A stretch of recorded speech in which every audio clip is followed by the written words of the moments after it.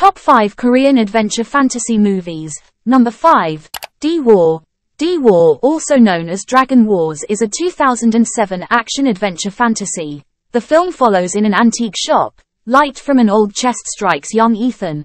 Amazed owner Jack tells Ethan he now carries the spirit of a warrior who battled dragons in 16th century Korea, and one day he will find a tattooed girl carrying the spirit of that warrior's beloved. Years later Ethan is working as a reporter when he meets tattooed Sarah. Soon after dragons descend on Los Angeles seeking out the two souls of the ancient lovers, Ethan, who carries the spirit of a dragon-slaying warrior, meets Sarah, who holds the spirit of the warrior's beloved, they must uncover the truth behind their powers and save the world. Number 4. Psychokinesis. Psychokinesis is a 2018 superhero film. It is the first South Korean superhero film, and revolves around a bank security guard who gains telekinetic superpowers after drinking water from a mountain spring affected by a meteor, and decides to use them for saving his estranged daughter and her neighborhood from an evil construction company. A father with newly acquired superpowers sets out to help his estranged daughter before she loses everything.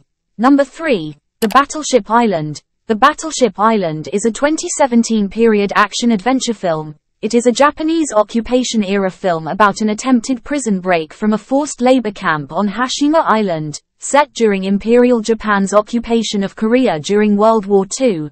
A group of over 400 Koreans endure harsh forced labor on Hashima Island and risk their lives to attempt a daring escape. In Korea, the Japanese trick civilians into slavery on the Hashima Island. A Korean activist decides to save these civilians upon discovering that the Japanese have plans of blowing up the island. Number 2. Miss Granny. Miss Granny comedy drama film follows a woman in her 70s who magically finds herself in the body of her 20-year-old self after having her picture taken at a mysterious photo studio. An elderly woman regains her youthful appearance, changes her name and embarks on a quest for happiness. Number 1. Along with the Gods The Two Worlds.